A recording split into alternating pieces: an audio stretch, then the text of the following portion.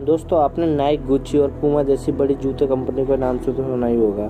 क्या आप ये जानते हैं कि एक ऐसी भी कंपनी है जो पर्यावरण का ध्यान रखने के लिए समुद्र में पड़े प्लास्टिक के कचरे को जूते के रूप में इस्तेमाल करती है? जी हाँ दोस्तों, मैं एडिडास कंपनी की बात कर रहा हूँ, जो कि एक जोड़ी जूते बनाने में 11 प्लास्टिक की बोतलें लगाती है और 2019 में इन्होंने 10 लाख जोड़ी जूते बेच भी दिए हैं। ये अमेजिंग फैक्ट जानकर आपको कैसा लगा, हमें कमेंट सेक्शन में बताना ना भूलें।